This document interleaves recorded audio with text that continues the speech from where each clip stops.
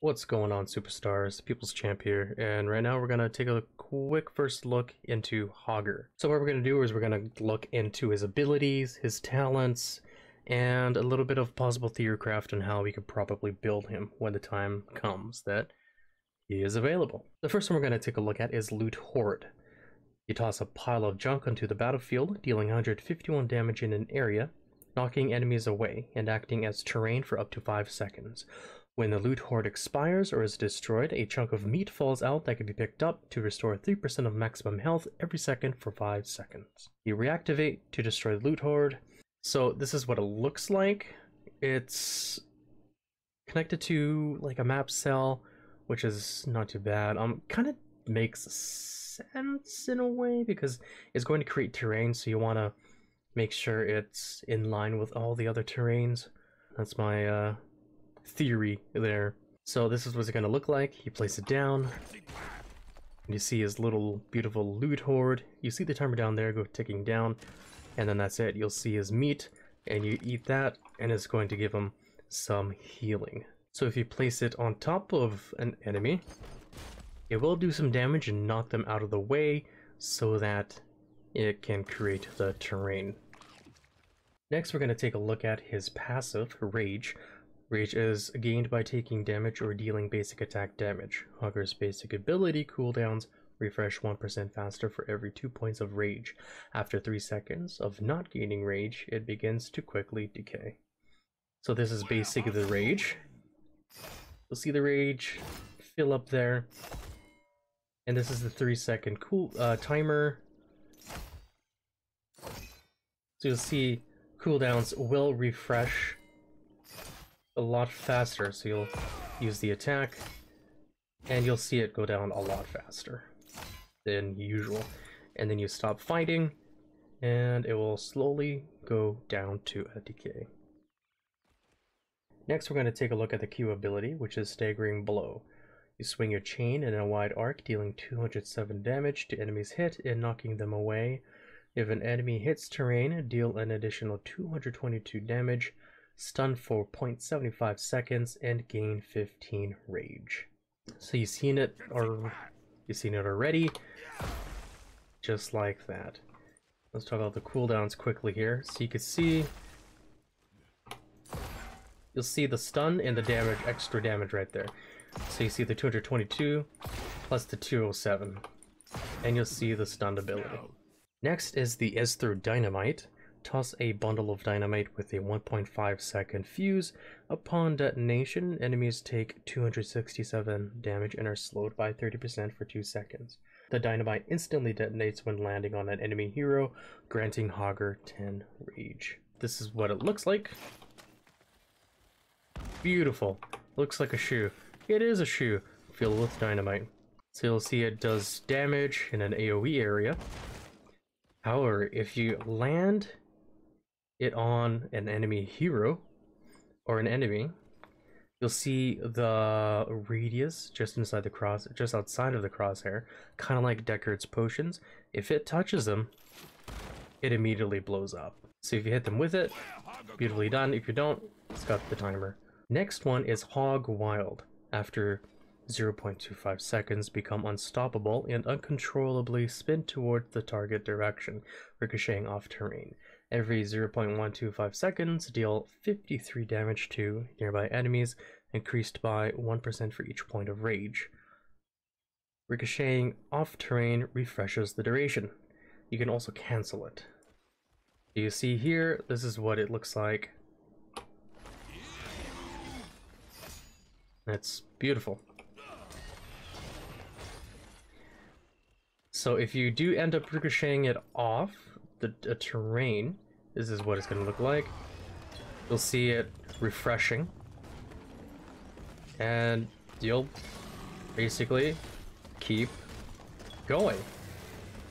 And you have the unstoppable, so yeah, you're good to go until you either until it either runs out or you hit E to cancel. Next, we're gonna look into the heroics, the Hoardapult. Launch an empowered loot hoard with Hogger attached, dealing 207 damage and slowing enemies by 50% for 2 seconds. The Hoardapult's loot hoard lasts up for 20 seconds, decaying rapidly while not nearby. Every 10 seconds, Hogger can take a chunk of meat from the loot hoard. So this is what it's going to look like. First off, you click where you want the loot hoard to be, and while holding, or if you're not using SmartCast, after clicking, you can decide where you want to land and cause the AoE damage. And so once you're damaged, ooh, and there is the meat. And then right at the end, just like the normal loot hoard, you can grab another meat. Choose a talent. Choose a talent. Choose a talent. Choose a talent. Choose a talent. The next heroic is Next, we're going to look at Shockwave. After 0.5 seconds, slam the ground, setting out a shockwave that travels in a long line. Enemies hit by the initial slam take 453 damage and are stunned for 1.25 seconds. Enemies only hit by the shockwave take 311 damage and are stunned for 0.75 seconds. So looking back, this is what we'll see. You'll see a circle. That's the initial uh, damage the initial portion of the shockwave, and the long portion is the secondary, the after effects. So you're going to see the damage spreading out, damage being different compared to with this and compared to the others. And you'll see the stun time as well being different. Being pretty much almost the last one depending on how far apart they are. Yeah, so very handy, very handy. It's only 70 second cooldown, so not not too bad, not too bad. Next, we're going to take a look at the level 1 talents. First one is the Journeyman Cooking. Each hero hit by Ez throw dynamite heals you for 6% of maximum health. It is also a quest talent where hitting heroes with Ez-Thro dynamite permanently increases your maximum health by 10 to a maximum of 750 bonus health. So it basically speaks for itself. Once you get damaged, it's going to heal you. Just like that. Kind of like Gazlowe's laser, but also the more that you hit, the more heals you get. So if you've only hit one, you only get 210. But if you hit three in one, you'll get healed for triple the amount. Next one is Bone to Gnaw. Loot Hoard creates a chunk of meat when it lands, while under the effects of meat, you gain 10 armor. Simple. Place it down, you will get that meat as it showed, and you're getting 10 armor. The next one is On the Prowl. Activate to gain 30 rage over 8 seconds. It has a passive where you heal for you heal for 9 health every second, but it is increased by 2% per point of rage. Choose a talent. This one can be pretty handy. I'm gonna just take the cooldown off. So basically you're attacking. If you need if you want the rage right away, you can just hit it and you'll see it slowly significantly increase within the duration. Now, another ray, another thing you could do with it, if you're, if you already have a hundred and you need to go to quickly go to a camp or switch to a lane, and you don't want to lose, and you don't want to lose the rage, what you can do is just let it go down a little bit, and just hit it, and it'll stop it because you're gaining rage, so it's gonna stop the cooldown, the duration. Okay, buddy. Alright, calm down. Next we're to take a look at the level 4s. Brute Force increases the range of Loot Hoard by 15%. With a quest, hitting heroes in staggering blow permanently increases basic attack damage by 1 to a maximum of 100 bonus damage. Enemy heroes that hit terrain grant an additional 2 damage. So you can see the outline is about this much base. So when you add the talent. talent, increases just a tiny bit, 15%. But I really think that you would mostly go for the quest. So moving up to Arthas, if we hit him once with it, we'll get one stack, one bonus attack damage. But if we hit him into the terrain, we will get that extra two, so that brings it up to four. So basically, you'll get three. Next is aggro range. Increase Hog Wild's radius by 25%, and each enemy hit generates one range rage, sorry, increased to three against heroes. You'll see the size of Hog Wild, the radius, blah, blah, pretty self-explanatory. If you see the radius right now, it is about that big. See if we can compare it. Uh, It's right about there. So if you get this, Choose a talent. you'll see a decent amount, a decent size. So you will hit more heroes with Hog Wild. Isn't that wild? Next, we're going to take a look at Hogger's Joggers. While above 30 rage, gain 10% increased movement speed and healing received. When above 50 rage, increase these bonuses to 15%. So we're at 0 rage, and you'll see that we're normal speed, and we'll get normal healing. But if we bring it up to 30, of 30, you'll see that we are a lot faster. 15%. Bring up to 50, it will get that 50% move speed and and healing. Let's get this going here. You'll see that healing over time. Not too bad. Next on level 7s, we are going to check out Seeing Red. While above 50 Rage, gain 25% attack speed and the cooldowns of Staggering Blow and Hog Wild are 30% faster. So we're above 50 and as you can see, he is attacking for a substantial amount of speed. And you'll see it is above 50, we'll use Staggering Blow, and it is going down quite quickly. As well as Hog Wild. So you can create quite a bit of disruption in the team fights with this. And even catch up to the enemy enemy team. Next is Dense Blasting Powder. Instant detonations of Ez-Thro Dynamite creates an additional dynamite behind the hero hit.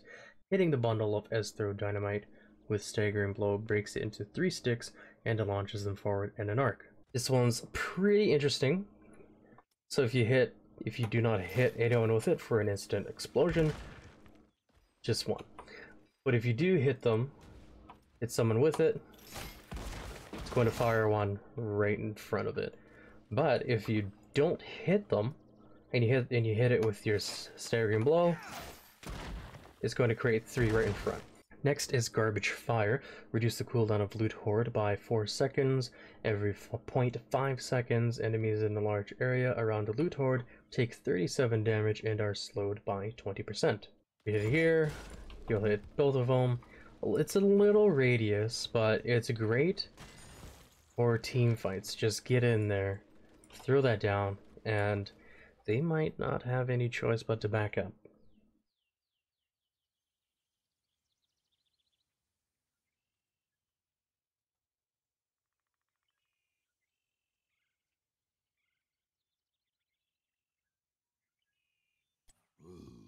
They regret cross path with Hogger. Choose a talent. Choose a talent.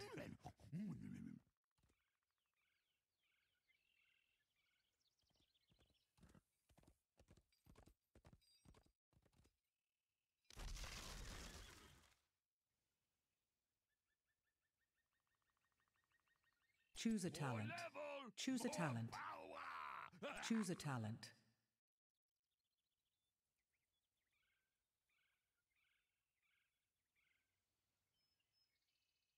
Choose a talent.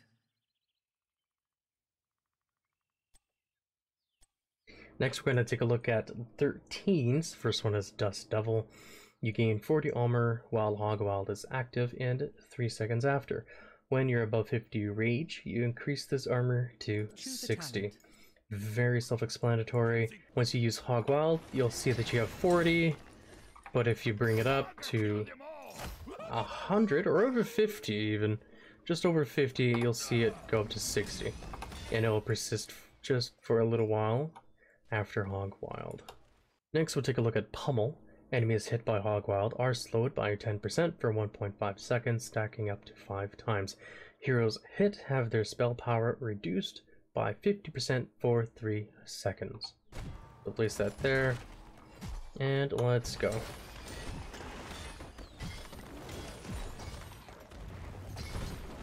You'll see it's stacking, so he's really slow. And, of course, he's... okay. Alright. Oh, there we go. And back. And, oh, there you go again.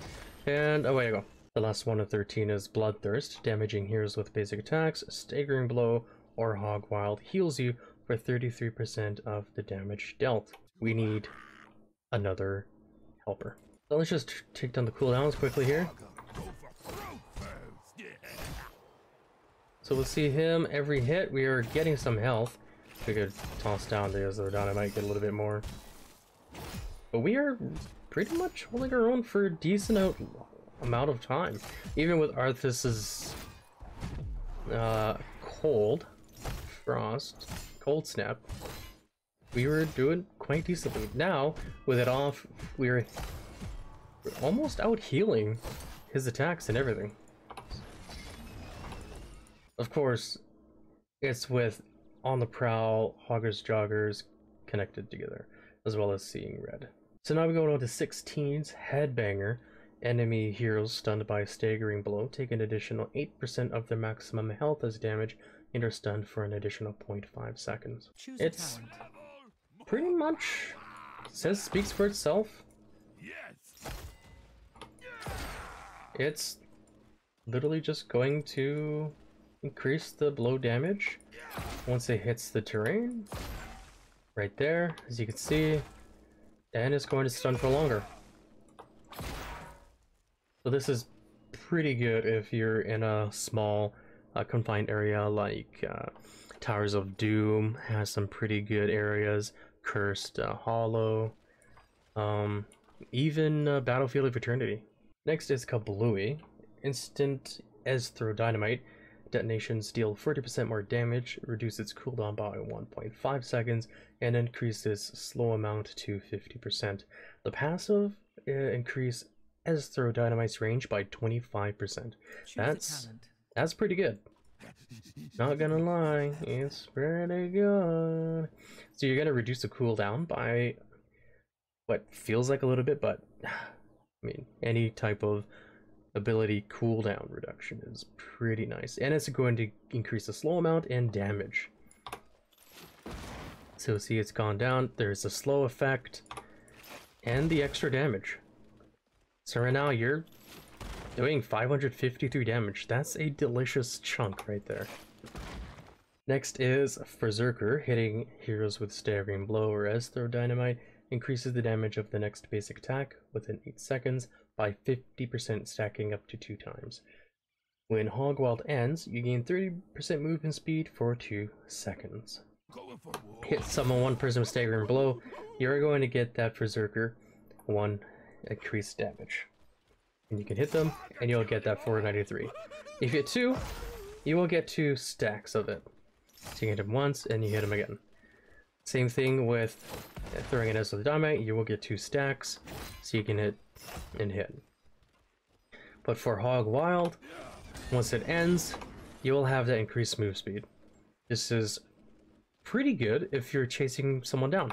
So you could go down and it stops here, no worries, you got the move speed. So you can move right in front of them and knock them back into your team.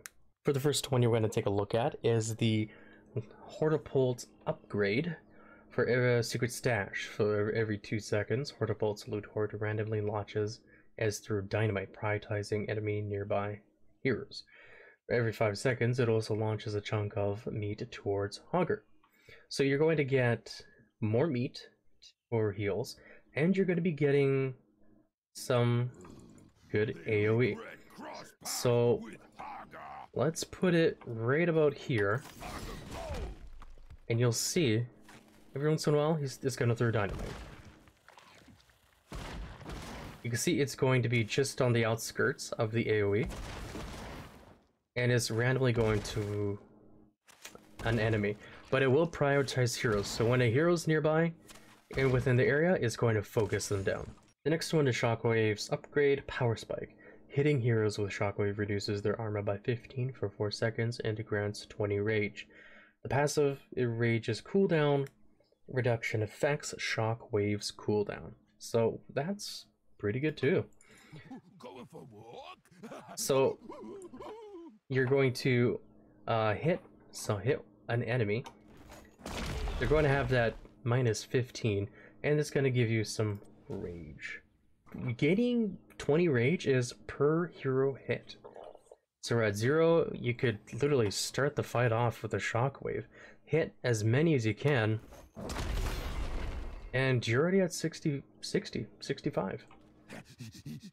So it's a great way to start to start a fight if you're down on rage. You can just get 60 rage and just get your effects right away. The next 20 is no control. You activate it to cast an untalented hog wild and begin chasing an enemy hero. After reaching hero, you bounce to a random nearby enemy hero, which lasts up to 6 seconds, rapidly decaying if there are no other enemy heroes nearby. This is pretty much like Lightning Ball. So you see you're in a team fight, you'll cast an untalented hog wild. And you'll see it going back and forth like a pinball.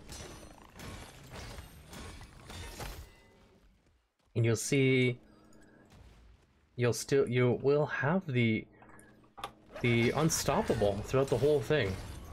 So it's a great way to get some damage done. As you can see, the total damage is 10,000. The last one is anger management. You increase the maximum range by 50, which gives you 150 rage total. Uh, raising the maximum bonuses, it's for its cooldown refresh rate to 75%, which makes it a lot faster, and the Hog Wild damage to 150%. With a passive, for basic attacks grant 5 additional rage, so each hit is giving you 10 instead of 5. So you hit them, you're gonna get 10. So you, but within 10 hits, 15 hits, you're you're getting it right up there. So with Hog Wild, you're getting that extra damage, 142. And the cooldown as well.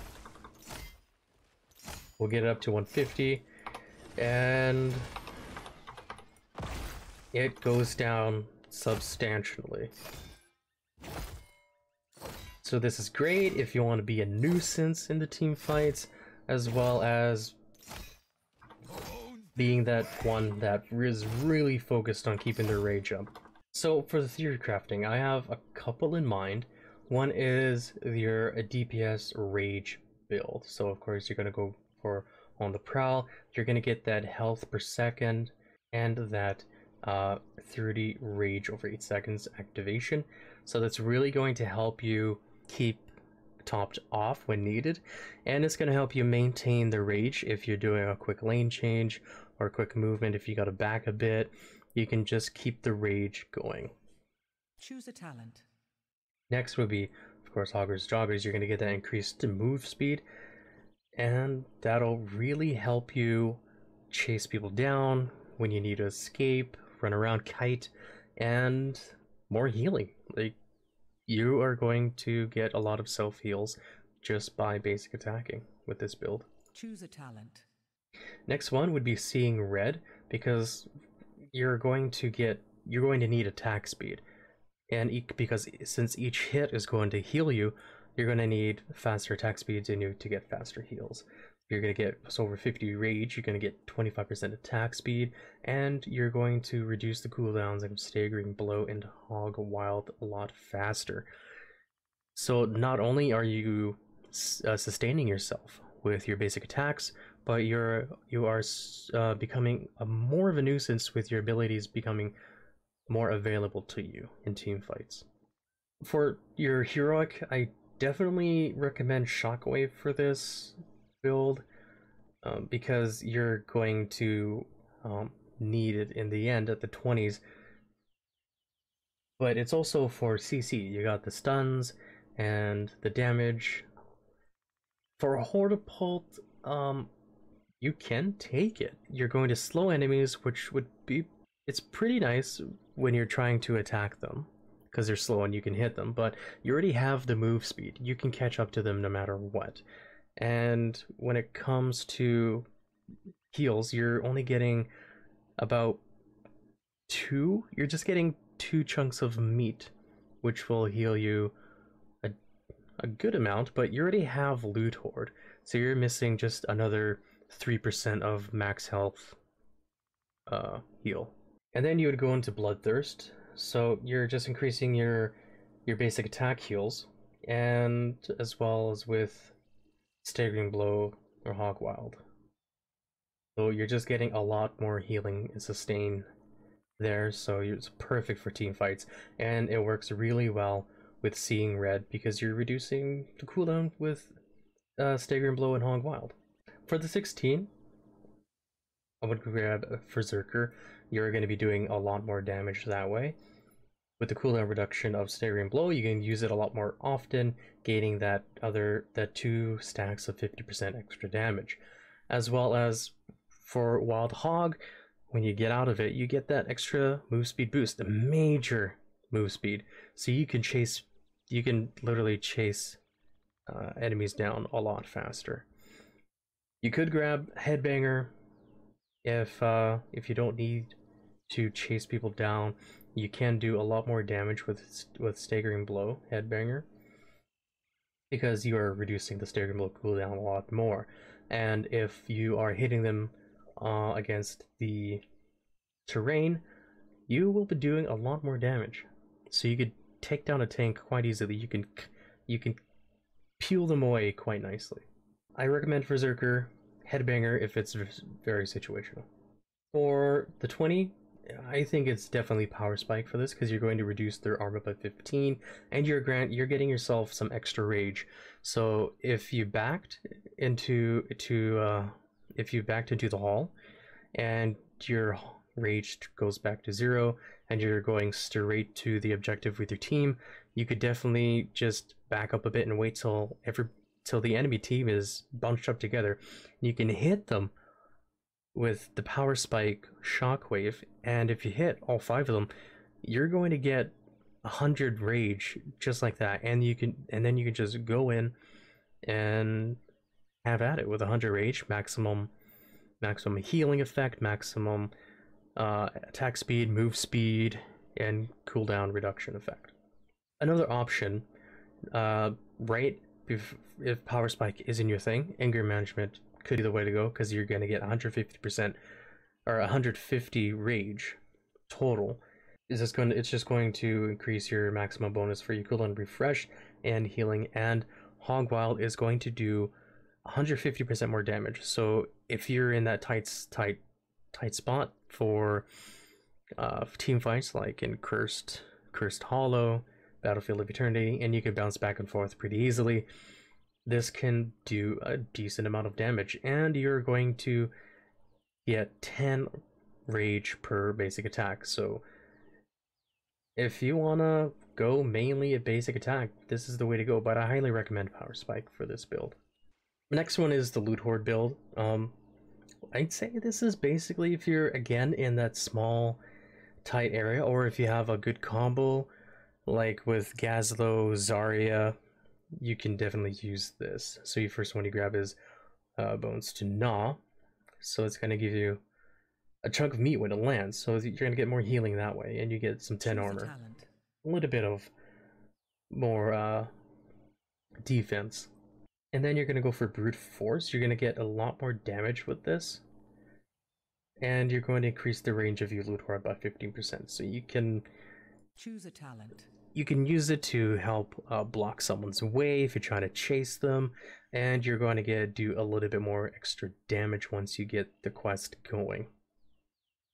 Next one is Garbage Fire. This is probably the most synergistic you, uh, talent you need for your 10 because it's going to give you basically extra DOT for uh, for team fights. You're going to do that, and they are going to be slowed, so it's a big plus. It's what you pretty much need for Choose a talent. Hoardapult, and you will get more meat to heal. Choose a talent. For 13, situational, you can either go Dust Devil or Pummel.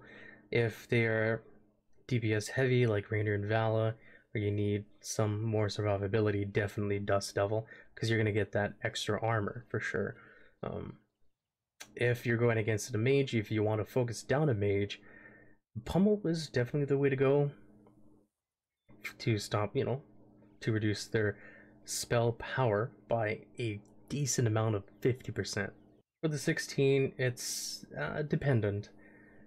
You can either go Kablooey to increase your damage for Ez-Thro Dynamite, but I do have another build in mind for that. But it's it this one's up to you, or you could go Headbanger for that extra health or extra 8% maximum health damage when fighting. So it's it's either or, situational as well. But for Headbanger, you really need it to be effective. To if you really need terrain for it to be effective. Whereas Kablooey, you can just you just toss it onto them and you get that slow amount. And for this, you I'd say you definitely need to go for Secret Stash. For every two seconds, Hoardapult's Loot Hoard randomly launches the Ez-Thro dynamite. It's going to prioritize heroes, you're going to get that extra damage, and it's actually going to work well with Kablooey because it's just going to keep tossing those out, and you are going to get them slowed, extra damage, and yeah, extra meat. What can go wrong? The last build I'm thinking about is your Ez-Thro Dynamite build. So the first thing off is the Journeyman Cooking. So your your your Ez-Thro is going to heal you for six percent of your maximum health, and you are going to get a little bit more beefier. Choose a talent. Then you're going to go for aggro range. So the Hog Wild's radius is going to be increased. It's just it's going to be good for you. Next, you're going to get dense blasting powder. So this is pretty much what you need for it to be a force to be reckoned with. Because you're going to leave behind you're going to leave behind the, de- the dynamite from behind. And if you miss, you can just stagger it and it'll create more dynamite. It's it's just gonna be a great addition for you. For the heroic, I would say Shockwave would be the way to go. You can go for Hoardapult, but the only thing that Hoardapult is going to do is to let you catch up to the enemy, like jump in, kind of like a, a dive, and you're going to cause a little bit of AoE damage, slow them down if you hit them with it. Um, and just a little bit of meat. I think, yeah, just two meat, and that's it. So I definitely think the way to go would be Shockwave, because you're you're going to be a lot more it's going to have a lot more utility. And if you toss down an Ez-Thro Dynamite, you can just do a little combo, throw down the Ez-Thro, and an alt, so that they have a higher chance of getting hit by the Dynamite. Next, uh, situational, Dust Devil or Pummel, it, totally up to you. Choose a talent. Next would be definitely Kablooey. Um, you're going to deal a lot more damage, so it's going to do a lot more damage, reduce the cooldown a little more, so you can be tossing a lot more, and it's going to increase a, sl a slow amount and increase the dynamite range. So it's it's the best of both worlds. Choose a talent. and then for the 20, it's super situational. I think definitely the way to go would be power spike because it's just going to make your your shockwave a lot more better And that is it for me, everybody. I hope you enjoyed this video. If you did, please don't forget to hit that like button and subscribe. I don't do as many videos as I should, but I'm slowly starting to get back into it. Um, of course, lay down any feedback in the comments. I like to improve. And yeah, I will see you in the Nexus. Take care, stay awesome, stay crazy, and remember, you're all superstars. And I'll see you when I see you.